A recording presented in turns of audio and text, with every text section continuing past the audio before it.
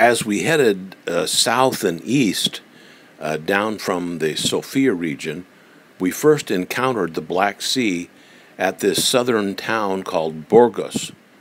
Uh, it's very hot in Bulgaria this time of year, and it was really a relief to come upon this marvelous restaurant on the beach. It was called Fiesta, and there were a, a big, big covered restaurant, but with the breezes blowing through and the people in the umbrellas outside. And we had a marvelous, believe it or not, sushi meal. The Black Sea is a rich fishery, and they have really fine sushi restaurants here. We just had a feast. The primary crop out here is sunflowers. The country is just covered with acres and acres. We tried to stop at several of the more popular resort towns on the southern Black Sea coast, but we found them far too crowded.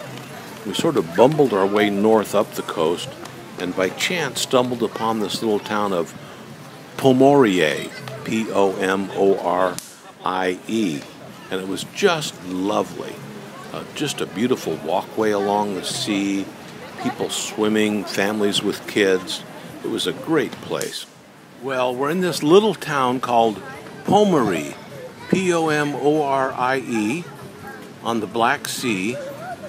It's a little bit north of Burgas, a little bit south of Varna, and it's a lovely little place we found by accident.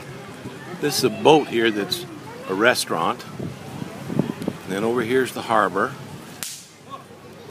The place is kind of a wash with what appear to be Eastern Europeans. A lot of Russians, um, of course, Bulgarians, Romanians, but it's really pleasant. Uh, a lot of families. It's a whole area with outside dining every which way, uh, outside entertainment, uh, snacks, restaurants, bars. Uh, it's about 8.30 at night here. And as you can see, the streets are just full of people. It's a pleasant, balmy evening, and it's just a wonderful place to be here on the Black Sea. This is where we had our dinner. We ate outside on the Malakon uh, and had this barbecue. It's really good. It's served on some kind of a fried bread, like a pita bread almost.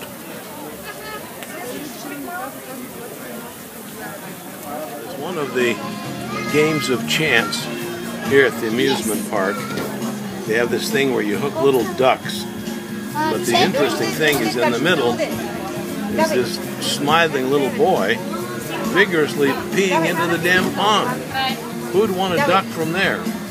This lady doesn't seem to mind. She allows it all to happen. Well, it's 10 o'clock at night here in this little town on the Black Sea. You can see the smoke in the background from the barbecue. All these people out here, families, children. There's two little girls over there, happy as can be. I mean, it's very active. This is a live band. Uh, it's a it's a happening place with a lot of great barbecue.